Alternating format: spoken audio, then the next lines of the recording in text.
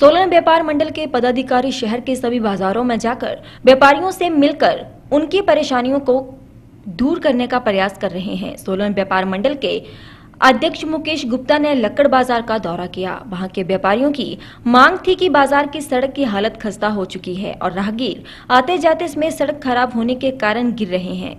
कई राहगीर गंभीर रूप से घायल भी हो चुके हैं, जिसके चलते सोलन व्यापार मंडल ने तुरंत संख्यान लिया और नगर परिषद के अधिकारियों से मिलकर सड़क की मुरम्मत की बात भी कही और उनके आग्रह पर सड़क रिपेयर का काम आरंभ कर दिया, जिसकी वजह से लक्कड़ बाज़ार के व्यापारियों में खुशी की लहर देखी जा रही है। इस मौके पर सोलन व्यापार मंडल के अध्यक्ष मुकेश गुप्ता ने बताया कि अनलॉक होने के बाद व्यापार मंडल के सभी पदाधिकारी सोलन के व्यापारियों से मिलकर उनकी मांगों को प्रशासन तक न केवल पहुँचा रहे हैं, बल्कि उसे हल करने का प्रयास भी किया जा रहा है। उन्होंने कहा की लक्कड़ बाज़ार के व्यापारी सड़क की खराब हालत को लेकर काफ़ी दुखी थे। इस मांग को नगर परिषद के समक्ष रखा गया और सड़क का कार्य आरंभ करवा दिया गया। उन्होंने कहा कि सोलन व्यापार मंडल का लक्ष्य सोलन के व्यापारियों की आवाज़ जिला प्रशासन तक पहुँचा रहा है ताकि उन्हें किसी भी तरह से असुविधा का सामना न करना पड़े।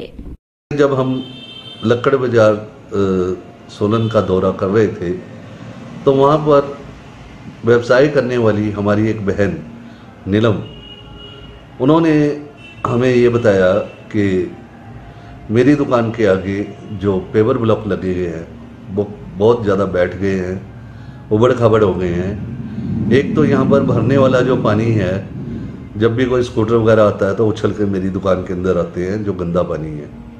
उससे वो बहुत परेशान थे। साथ ही उनका कहना था कि यहाँ पर हर रोज़ ही दो तीन लेडीज़ या जेंट्स यहाँ पर गिर जाते हैं। तो उन्होंने इस समस्या को हमारे सामने रखा।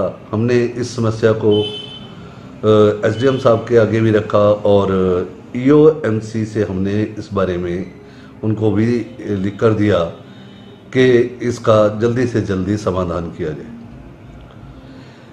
इस कार्य का शुरू कर दिया गया है और हम उम्मीद कर रहे हैं कि एक दो दिन के अंदर में ये कार्य कंप्लीट हो जाएगा और हमारे व्यापारी बहन को जो इससे दिक्कत हो रही थी या आमजन को जो दिक्कत हो रही थी, वो ख़त्म हो जाएगी।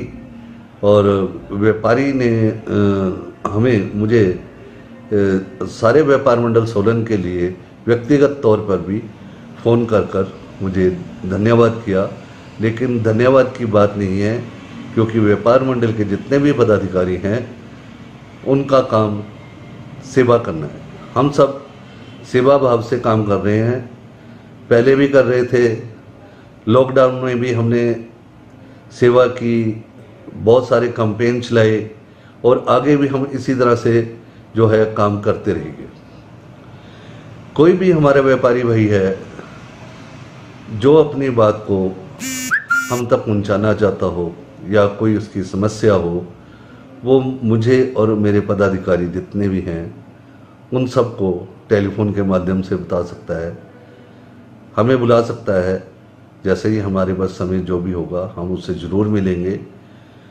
और, कुछ जो समस्याएँ हैं, जो हमारे संज्ञान में आई है, उनका हम बड़ी जल्दी सभी का निवारण करवाएँगे।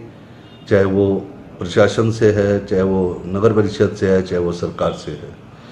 क्योंकि व्यापार मंडल सोलन अपने आप में प्रशासन के लोगों से और नगर परिषद से, हमारी स्टेट की सरकार से हमारा पूरा तालमेल है। आज तक हम जिस भी काम के लिए प्रशासन के पास गए, प्रशासन ने भी हमारी बात को माना और हमारे द्वारा की गई मांग को उन्होंने स्वीकार करते हुए एकदम उसको जो है सॉल्व करवाया।